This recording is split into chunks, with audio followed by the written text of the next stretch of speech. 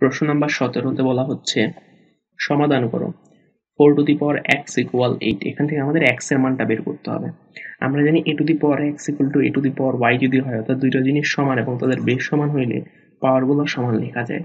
এই জিনিসটা আমরা এখানে অ্যাপ্লাই করব। এখানে বেসগুলোকে সমান করার চেষ্টা করব। এখানে হচ্ছে ফোর এখানে হচ্ছে এইট আমি এই ফোর ইচ্ছাগুলো লিখতে পারি টু স্কোয়ার উপরে পাওয়ার হচ্ছে এক্স ফোর এর পরিবর্তে টু স্কোয়ার আনলাম। আর এইটকে লেখা যায় টু কিউ তাহলে আমরা যেটা লিখতে পারি টু টু দি পাওয়ার এই টু আর এক্স গুণ হলে পাওয়ারের উপর পাওয়ার আছে পাওয়ার পর গুণ হবে two to the power two x equal two to the power three তাহলে এই দুইটা জিনিস যেহেতু সমান এবং বেশ সমান, তাহলে পাওয়ারগুলো সমান হবে টু এক্স ইকুয়াল থ্রি আমার মান বের করতে হবে এক্স তাহলে এক্সের সাথে যাই আছে, অন্য পাশে নিয়ে যেতে হবে এক্সের সাথে টু গুণ অবস্থায় আছে, তাহলে টু অপর পাশে যাওয়া হবে ভাগ, তাহলে থ্রি ডিভাইডেড বাই টু সুতরাং নির্ণয় সমাধান।